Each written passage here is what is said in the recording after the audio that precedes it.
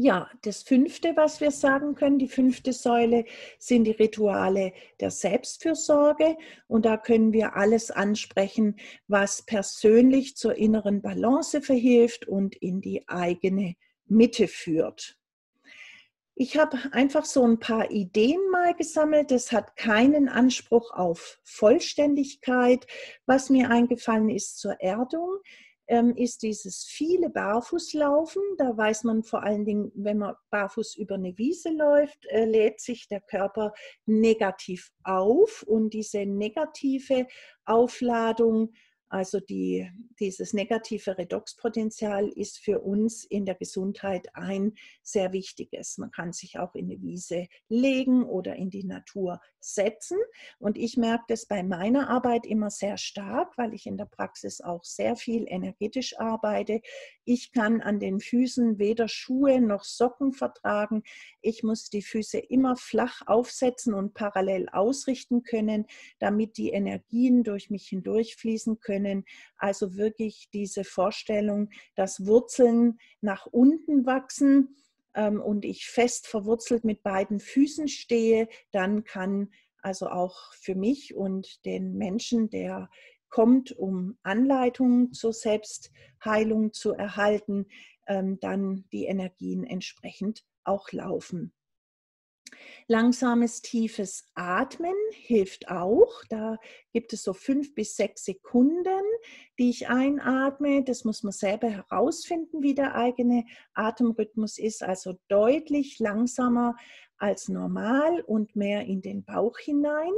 Und sich dabei vorzustellen, dass man ganz viel positive Energie, Licht und Liebe aus der Umgebung zu sich herholt, in sich hineinzieht und äh, diese positive Energie dann zu den Körperregionen lenkt, die sich ins Bewusstsein schieben.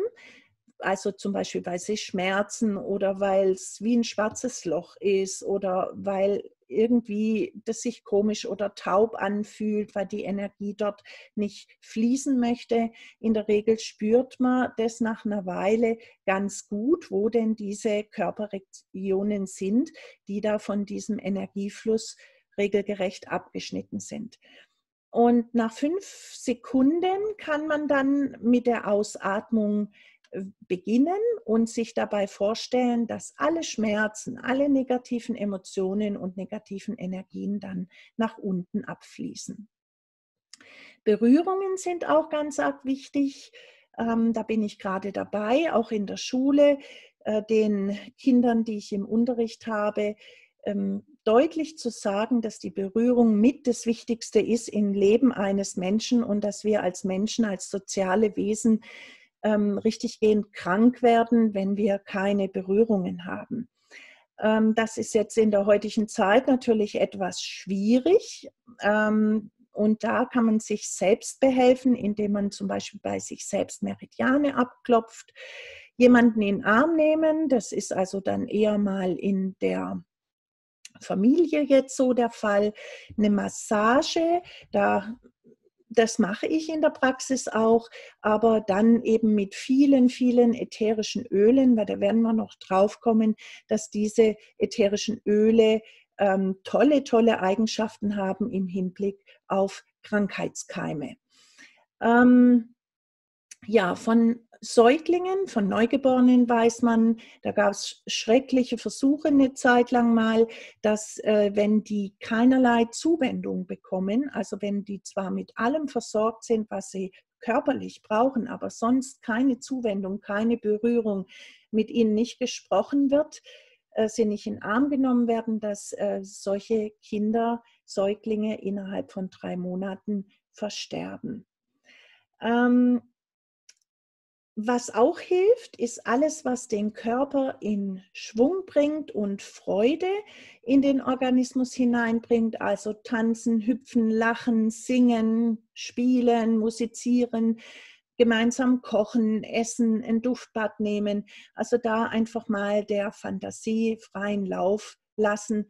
Es ähm, alles, was so richtig aus dem Herzen rauspurzelt, das ist super. Ich habe hier mal ein paar Bilder gesucht. Ähm, ja, Wasser ist auch eine tolle Sache, weil Wasser, alles was am Wasser oder im Wasser geschieht, bringt äh, die Emotionen in Fluss auch eben die Berührung und der Aufenthalt im Grünen. Grün ähm, steht ähm, so energetisch und emotional für die Weite, des, den, den Raum, äh, das Wachstum, was eben Pflanzen ausmacht und wo wir tief durchatmen können. Im Wald äh, weiß man mittlerweile, dass die Bäume auch viele ätherische Öle und äh, Duftstoffe aussenden, die einen äußerst positiven Einfluss dann auf uns haben. Und warum das so ist, da kommen wir dann in den nächsten Teilen auch drauf. Ja, ähm, das ist auch eine Abbildung, die ich aus Facebook entnommen habe. Da habe ich mich so gefreut, dass äh, solche Dinge auch kursieren. Ähm, es gibt vier Hormone, die es äußerst sinnvoll sind, dass wir sie aktivieren, weil die uns regelgerecht glücklich machen. Das einmal das Serotonin als Stimmungsaufheller. Ähm, das kann ich anregen in der Zirbeldrüse, dass das gebildet wird ähm, und auch in anderen Teilen vom Gehirn. Wenn ich meditiere oder in der Sonne liege bei Sport und Bewegung, moderater Bewegung, also nicht jetzt Hochleistungssport, sondern moderat, in der Natur spazieren und ähm, für die Enzyme, die bei der Serotoninsynthese notwendig sind, wird also auch Magnesium benötigt. Das ist eines der zentralen Atome in sehr, sehr vielen Enzymen für so Stoffaufbau. Dann haben wir das Oxytocin, das ist das Liebeshormon. Das ähm, entwickelt sich zum Beispiel, wenn ich mein Haustier streichel oder eben beim Kuscheln und bei Berührungen, wenn ich ein Baby halte oder eben meinen Lebenspartner im Arm, wie auch immer, wenn ich Komplimente gebe. Also diese Dinge ähm, wirken da ganz stark. Man nennt es also das Liebeshormon oder das Beziehungshormon. Ähm, bei einer stillenden Mutter wird es über das Stillen sehr stark angeregt, dass das gebildet wird. Ja, dann haben wir das Dopamin, das ist das Belohnungshormon. Also das äh, wird ausgeschüttet, wenn ich eine Aufgabe erledigt habe und dann zufrieden bin, dass es entsprechend gelaufen ist und ich es hinter mich gebracht habe und einfach diese Freude dann an der erledigten Sache und an dem, was da gestaltet worden ist. Es geht weniger um das ähm, Erledigen, sondern eigentlich mehr um das freudvolle Gestalten und dieser, diese Freude, die hinterher ähm, kommt, wenn dann Dinge fertig geworden sind ja, ähm, diese Selbstfürsorge betreiben, also genau hinspüren, was kann ich leisten, was wird zu viel, wann brauche ich eine Pause. Dann Lieblingsessen kochen und essen und kleine Erfolge feiern, also nicht zu große Schritte setzen, weil äh, wenn ich dann das nicht erreicht habe, was ich mir als Tagesziel gesetzt habe, dann ist, hinterlässt es immer ein ungutes Gefühl. Und heute haben wir ja das Problem, dass uns irgendwo oder die Herausforderung, dass es nie zu Ende ist, dass immer noch mal irgendwas kommt. Deswegen mache ich zum Beispiel das so, dass ich nur einmal morgens und einmal abends in die E-Mails, in die WhatsApp und Facebook und sonstige Dinge schaue, so dass ich da einen limitierten Zeitrahmen habe und dort eben eine Work-Balance hinbekomme oder eine Work-Hygiene, eine Arbeitshygiene, dass ich mir nicht sinnlos Zeit verdaller. Ja, Endorphine sind, werden ausgeschüttet. Ähm, das sind ähm, Schmerzhemmer, die greifen auf die Cannabinoid-Rezeptoren zu. Die werden zum Beispiel ausgeschüttet, wenn wir lachen, also lustige Filme, ansehen oder miteinander was spielen und da sehr viel lachen müssen. Bitterschokolade ist ein, enthält ähm, viele Polyphenole, die, äh, die das auch anregen. Ähm, und wenn ich mich regelgerecht auspower, ähm, leistungsmäßig in der Fitness, äh, im Sport, dann werden diese Endorphine ausgeschüttet. Das weiß jeder Marathonläufer, dass irgendwann ähm, Schmerzen kommen und wenn dann weitergelaufen wird, dann schüttet der Körper die Endorphine aus in der Notsituation und dann kann man eben entsprechend noch weiterlaufen, obwohl man normalerweise eigentlich stehen bleiben würde. Ja, das Gegenstück zur Erdung ist die Himmelung. Ähm, da ist mal das Allerwichtigste, das, was das Bild aussagt, dass man erstmal diesen ganzen Gedankenmüll, den wir so hin und her schieben, da sagt zum Beispiel der Zellbiologe Bruce Lipton, dass wir 85 Prozent äh, aller Gedanken immer wieder denken. Das sind also ständig wiederkehrenden. Nur 15 Prozent sind neue Impulse.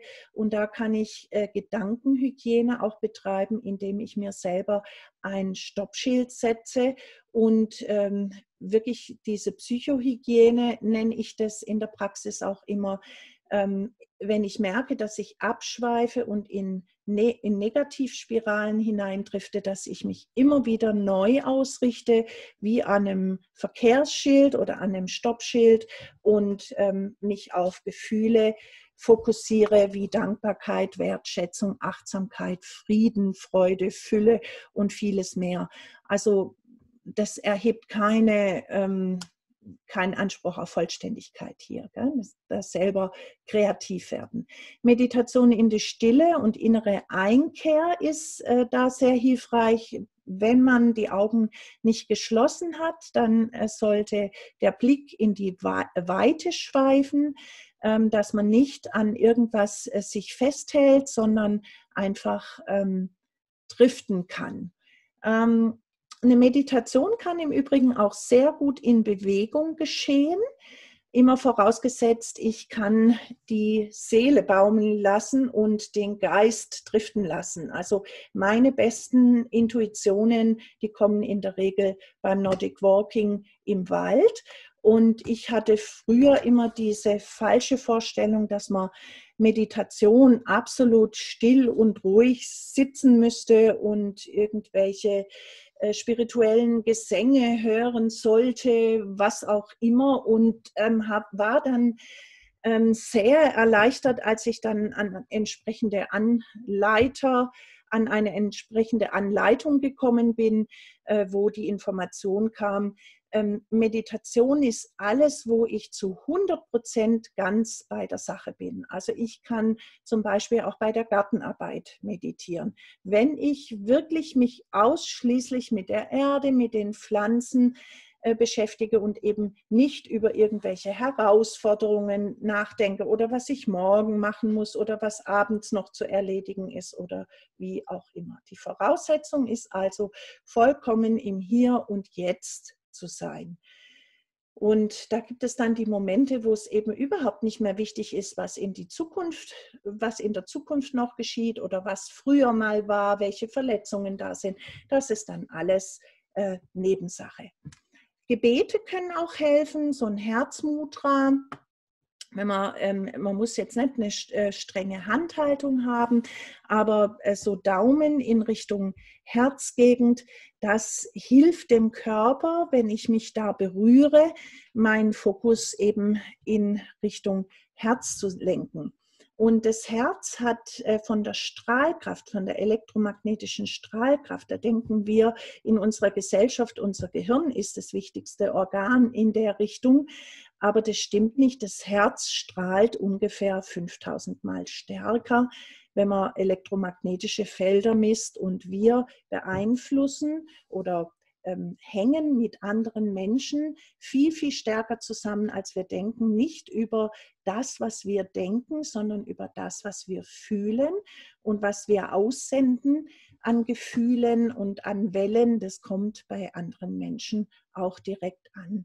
Und ähm, das ist also nicht wichtig, was ich sage, sondern was ich tue und was ich tatsächlich bin. Da möchte ich auch mal noch ein bisschen darauf aufmerksam machen, dass wir viel zu häufig sa sagen, ich bin in Kombination mit negativen Ausdrücken. Also ich bin traurig, ich bin müde. Mit dem Ich bin manifestiere ich genau die Energie in meinem Leben. Ähm, besser ist es, wenn äh, ich dann mich müde fühle, dass ich das auch so ausdrücke. Also nicht sage, ich bin müde, dann setze ich diese Energie fest in meinem Körper, sondern ich fühle mich müde oder ich fühle mich traurig. In der Richtung denken, weil man dann schon sagen kann, ich bin glücklich, ja, ich bin energiegeladen, weil diese Dinge, die wollen wir ja manifestieren im Körper. Ätherische Öle sind auch ganz wunderbar für die Selbstfürsorge geeignet. Da gibt es herrliche Duftstoffe wie Rosenöl, Lavendelöl. Da werden wir noch ein bisschen was dazu sagen. Ähm, also die wirklich ganz stark eben uns äh, beeinflussen und äh, die Emotionen auch entsprechend lenken. Und warum das so ist, das kommt dann in den nächsten Videos. Hier haben wir noch ein Schaubild, das ich auch aus dem Facebook entnommen habe, also auch die Quelle leider nicht genau orten konnte. Ähm, und das zeigt so verschiedene Möglichkeiten, wie ich mit meine eigene Schwingung erhöhen kann. Ähm, und da seht ihr, dass ähm, alle Begriffe im Grunde in diese positive Ausrichtung zielen. Also verzeihen, lieben, dankbar sein, annehmen, was kommt, ohne zu bewerten und zu beurteilen, meinen eigenen Bedürfnissen zu folgen, die nicht zu verdrängen und damit dann auch dem eigenen Seelenweg folgen, auszumisten, dass nicht mehr benötigte Dinge sich auflösen können. Da geht es nicht nur um ähm, tatsächlich materielle Dinge, sondern auch ähm, Sachen, die ich eigentlich gar nicht mehr machen möchte, Arbeiten, die ich nicht mehr tun möchte, ähm, Menschen, die mir, äh, die sich, also wo sich die Schwingungsebenen verändert haben, wo wir einfach keine positive gemeinsame Grundschwingung mehr haben, die, wenn ich mich selber sozusagen Schicht für Schicht weiterentwickle und an meinen inneren Kern komme und andere Menschen diese Entwicklungsschritte eben nicht machen, also wirklich nicht von höher, tiefer, sondern Entwicklung von tatsächlich auf zu dem Selbst und zu dem eigenen Kern zu kommen, dann ist es manchmal an der Zeit, dass man getrennte Wege geht. Ja, Achtsamkeit sich selbst gegenüber und auch der Umwelt Unsere Erde braucht es auch ganz dringend und wir können ja ohne die Erde und ihre Geschenke nicht leben. Den freien Willen anderer zu akzeptieren, das ist heute ein ganz großes Thema, wenn, wenn äh, die Diskussionen nicht mehr stattfinden können und wir gespaltene Lager haben, mit, äh, wo, wo man gar nicht mehr miteinander reden kann, sondern äh, das ist, äh, ist eine ganz ähm, traurige Sache, die ich da eben beobachte. Und dieses Stehenlassen des anderen in seiner Überzeugung, das ist auch eine wichtige Sache. Also missionieren ist in keiner Richtung gut. Ja, im eigenen Herzen ankommen, ähm, sich mit den Dingen und den Menschen umgeben, die einem gut tun, den Körper zu entgiften, Chakraarbeit, wenn man in die Richtung denken mag, selber denken und die Massenmedien hinterfragen. Ja, also ich habe seit zehn Jahren Radio, Fernsehen abgeschafft und trotzdem bin ich immer sehr gut informiert, weil die Informationen, die zu mir kommen sollen, die kommen auch an. Ja, Land und Himmel harmonisieren und Optimist werden. Das ist ein äh, tolles Bild von, äh, von der Resonanzakademie oder Resonanz Foundation, die der Nassim Haramein gegründet hat, gemeinsam mit vielen anderen fantastischen Wissenschaftlern, wie zum Beispiel dem Marshall Lefferts, von dem auch das Bild ist aus seinem Buch. Und der Nassim Haramein, der hat ähm, tolle Forschungen gemacht, ähm, wie das Universum aufgebaut ist, ist Mathematiker, Physiker, Universalgelehrter. Und er sagt eben, die Biologie, also die Logik des Lebens, ist ein Feedback-Mechanismus des Universums, um ähm, mehr über sich selbst zu lernen. Und äh, dieser Grund, ähm, Energiekörper, den wir praktisch überall in der Natur haben. Das ist ein Torus, der ist hier abgebildet. Ich gehe mal mit dem äh, Cursor drauf. Ähm, und dieser Torus ist wie ein Donut. Da kommt also von unten Energie rein. Sage, die Baumwurzel zieht Energie hoch. Der Stamm ist dann praktisch dieses innere Loch des Torus. Und oben kommt dann die Energie raus und dann fallen die Blätter wieder runter. Dann können die Wurzeln die Energie wieder einziehen. Und so ist es also ein ständiger Kreislauf von Entstehen und wieder Vergehen. Und ähm, hier ist noch ein, sind noch andere Bilder, sodass äh, man sieht, dass diese Toren ähm, in der Welt unglaublich weit verbreitet sind. Wenn wir genau schauen, ist eigentlich die ganze Natur so aufgebaut und jeder Torus hat auch so eine Äquatorialebene. Und in der Äquatorialebene, da gibt es solche Spiralen, die wir zum Beispiel kennen, wenn wir äh, schauen, wie Wasser den Abfluss herunterfließt oder wenn wir eine Galaxie ähm, anschauen bzw. gezeigt kriegen, wie das aussieht äh, durch die Teleskope. Dann haben wir eben diese Spiralnebel. Wir haben ähm, unser ganzes Wettergeschehen, das in solchen Spiralen abläuft. Ähm, wenn wir ähm, Obst und Gemüse anschauen, dann haben wir diese, ähm, diesen Tor toroidalen Aufbau ebenfalls. Auch bei uns Menschen ähm, ist der ganze Körper so ein Torus von den Füßen, die aufnehmen, über den Körperstamm zu den Armen und dem Kopf, der, die nach oben dann die Energie abgeben, beziehungsweise auch andersrum eben die von unten nach oben die, äh, die ähm, Himmelung und von oben nach unten dann die Erdung. Das, was wir eben jetzt vorher auch gerade angesprochen haben. Hier ist es nochmal ein bisschen mit den Chakren gezeichnet. Und ähm, hier sind nochmal die Chakren auch in Blütenfarben dargestellt, so dass da ähm, dieser harmonische Übergang des Farbspektrums von Rot nach Violett gezeigt ist. Und da haben wir im Grunde genommen eben ähm, eigentlich schon das Farbspektrum oder die, die Spektralfarben dann drin. Ja, dann möchte ich mich für heute verabschieden. Unser nächstes Thema im Teil 3 wird sein, warum denn die ätherischen Öle beim Stressabbau helfen können. Und bis dahin wünsche ich allen ein gutes Ankommen bei sich selbst und einen wunderschönen Tag und eine gute Zeit. Bis zum nächsten Mal. Tschüss.